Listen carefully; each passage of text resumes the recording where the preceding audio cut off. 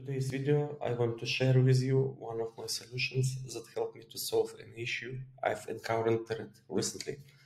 My objective was to transfer an image from AWS to my application. However, response is in the application Octet stream, which is not conducive to displaying or reading the image.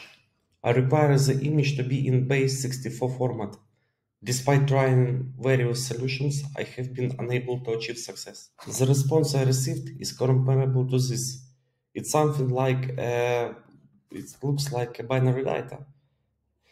So first of all, what you, you need to do is to make an API call to your server to get the required data. In your in my case, I've used uh, the Axios library where I've defined the headers and content type is application Octet stream and response type should be array buffer.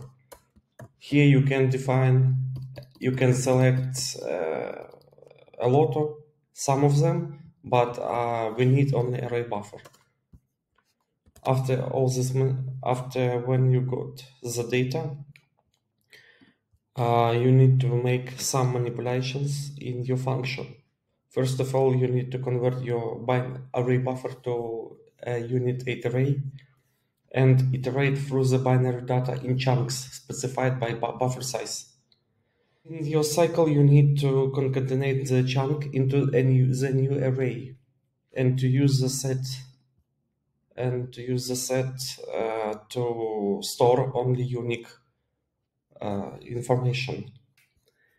After you need to create the blob from the concatenated binary data with specified MIME type. In my case, I need the image PNG.